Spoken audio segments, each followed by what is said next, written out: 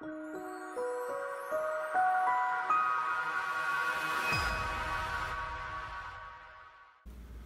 everybody, welcome to the new digs over here in the greenhouse. Uh, this is the office that Justin and I share and most of our staff is over here.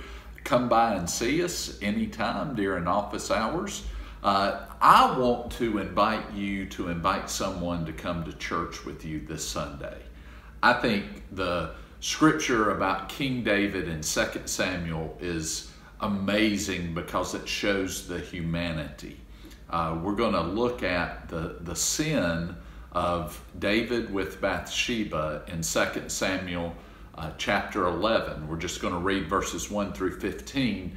But please read that in preparation because I want us to think about how one sin leads to another. And this is where the rubber meets the road for those of us who are Christian uh, for how we live our faith to be holy, to live holy lives. It doesn't mean we're perfect, none of us are.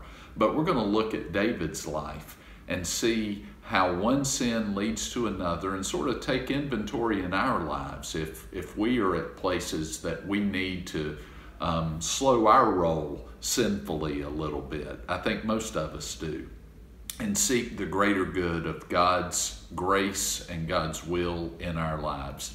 Please read 2 Samuel chapter 11 verses 1 through 15.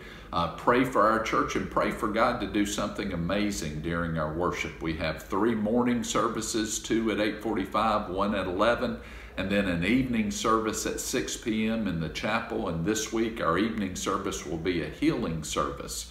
So uh, please pray for God to do amazing things through our church because God is. And let's be a part of that and consider how one sin leads to another. Love you, mean it, bye.